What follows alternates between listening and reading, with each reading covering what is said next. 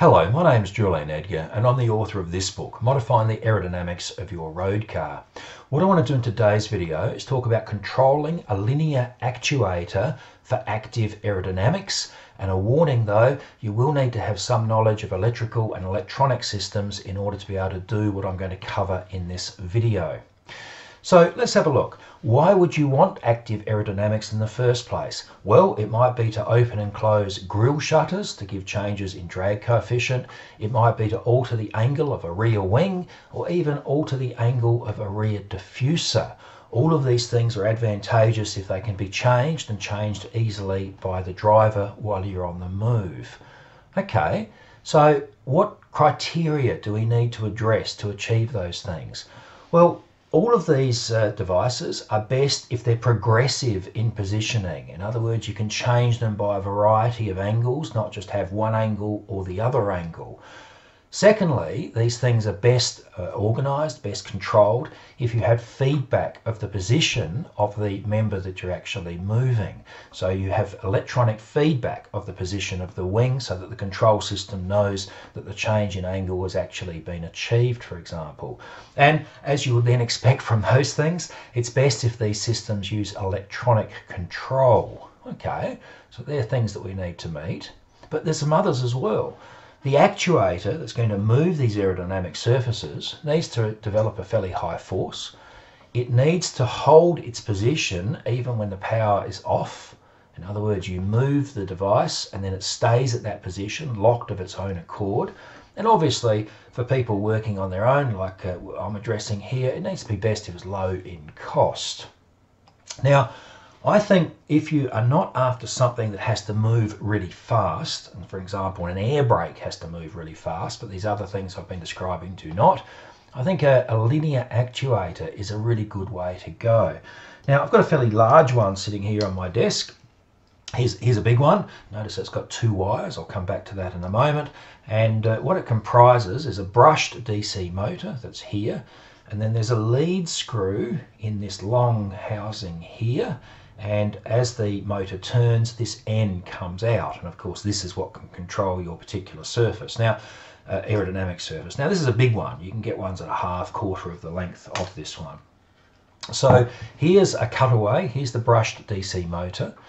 There's the lead screw and this nylon saddle rides on the lead screw. So as the lead screw rotates the nylon saddle moves along the uh, housing and pushes out the shaft at the end here is a gear reduction system, so the motor spins quite fast, but the lead screw rotates fairly slowly. These are low in cost, uh, dropped dramatically in price over the last three or four years. A variety of lengths is available, a variety of forces is available, and they're commonly available with a 12 volt motor, which means it's really easy to control in a car. Okay, so we've got the mechanical electrical device that's going to be able to move these things, move these aerodynamic surfaces, but how do we control the linear actuator itself? Well, one of the interesting things about these linear actuators is they have limit switches built in. A switch at one end, a switch at the other end. So if you apply power to the motor and the actuator extends, when it gets to the end of its extension, it switches itself off you don't have to worry about the motor um, stalling, uh, you know, jammed against the, the end of the travel. When you reverse polarity, the, the uh, linear actuator retracts, and again it switches off when it gets to the other end. So if you only need full extend, full retraction, and not the progressive changes I mentioned earlier, you can achieve these things just with a double pole, double throw switch. As simple as that, a six terminal switch and you simply wire it like this. Flick the switch one way and the linear actuator will extend, stopping itself when it reaches the end of its extension. Flick the switch the other way, which also reverses the polarity, and the linear actuator will retract, again switching off when it reaches full retraction. So for a two position device, that's very, very simple, very cheap, very easy to achieve but it doesn't achieve that progressive change that I said you will often need when you are controlling aerodynamic surfaces. Now, the best thing I have found to control a linear actuator with a progressive uh, movement is a, a little module, a little module I discovered just only the other day. Now, it's made by, I'm not sure how you pronounce the name of the manufacturer, Pololu. If, if, that, if I have it incorrect, you'll have to apologize.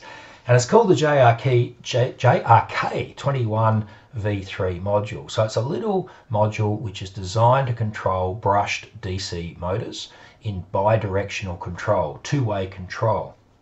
Now, compared with say using a, a little microcontroller board and an H-bridge uh, extension board, this has huge advantages. It costs a bit more, but it has huge advantages because it's fully programmable out the box and it has all its own software. It's not a case of writing code, it's all as programmable as a programmable engine management unit. I was stunned with how easy it was to program and how effective it actually was.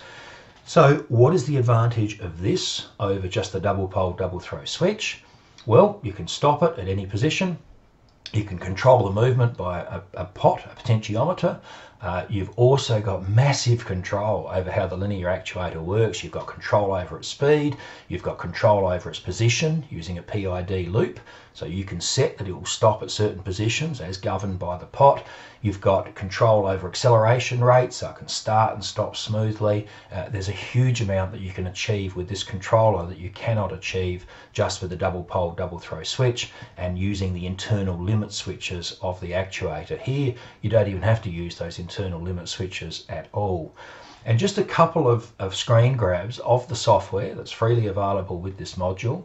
Uh, here we have the input screen and we've decided we're going to use an analog voltage input. You can also control it directly from a microcontroller. You can also, interestingly enough, control it from an RC signal, a variable pulse width signal, but here we're just selecting an analog voltage as the input, which means we can just control it with a, a pot.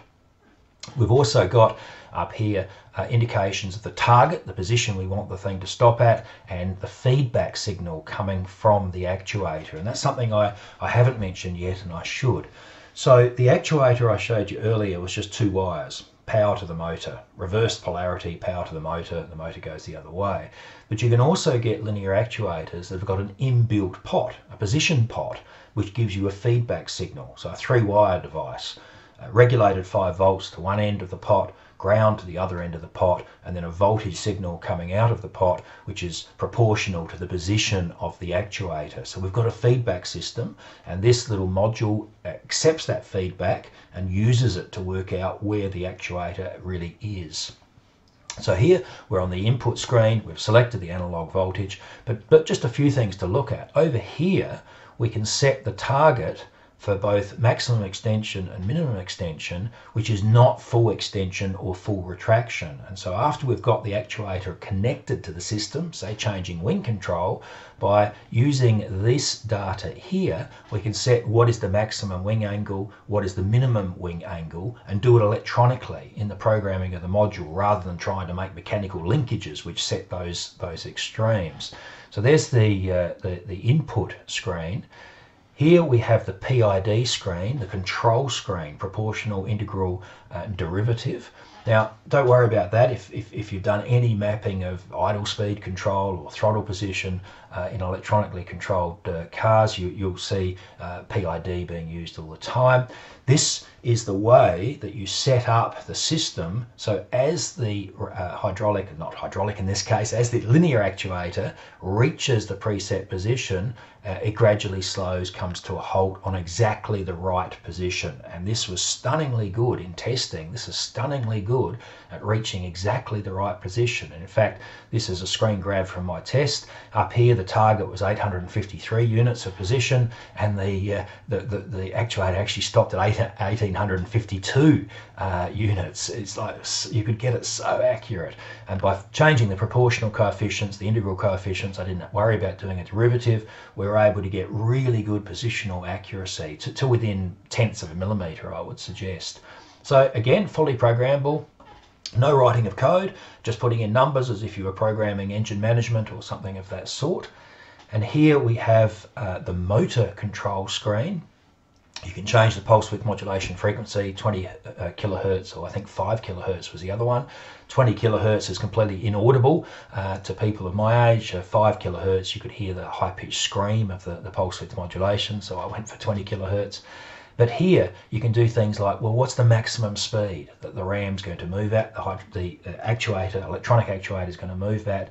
Here I'm, I'm picking a, a maximum speed of 500. 600 means uh, full speed.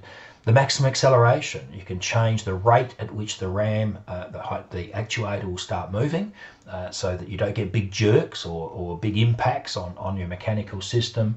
You can you can set maximum current. You can just do so much. It's it's just really quite astonishing and a cheap module to have this degree of software support. Here it is uh, set up with a potentiometer input. So here's my pot. Uh, these wires go to the feedback uh, signal coming from the uh, linear actuator. There's the motor connections to the linear actuator, and here's power and ground being fed to the board. Peak uh, current it can cope with 5 amps, 2.5 amps continuous, which is plenty for these actuators, uh, even under load. They don't draw a lot of current and here's the uh, USB connection to the PC. Uh, once you've programmed the module, you just disconnect the, uh, the, the, the, computer, uh, as in with any programmable uh, module, and it will operate quite happily by itself. So uh, there we've got potentiometer control with feedback loop, so it always gets to the right setting where you can change the angle of, of any of those aerodynamic surfaces. Now, I was thinking about this, and in a car, um, turning a pot is not so good if you can't actually see the surface that you're changing in angle. It'd be better, to say, to have a five position switch or a four position switch, you know, one setting for, for wet, one setting for dry, or whatever it might be. And uh, just a, a, really bad drawing, but it gives you an idea. It's pretty easy to arrange a, a multi-pole switch to give four or five different input voltages as was being achieved with the pot. And what we've got here is we've got a four position switch. There's the input to the little module and each of these switch positions goes to the wiper arm of another pot and they're 10 turn pots. And so there's one there's one there's one there's one. Each pot's just uh, organized across wide across regulated 5 volt and ground.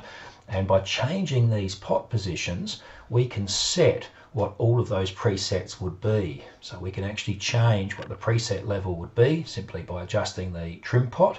And then when we go click, click, click, click, it has a different voltage on each of those positions and therefore a different wing angle or a different diffuser angle or a different grill opening, a grill shutter opening on each of those different switch positions. So it's, it's, it's the best thing I've seen for controlling a linear actuator with feedback, with precision, with a lot of software control, uh, and yet at a quite a low price. Um, by the time you add in a multi-position switch or a pot, by the time you, you buy the module, by the time you buy the linear actuator, you're probably only talking about 150 US dollars or something like that, maybe 200 if you get a weatherproof actuator.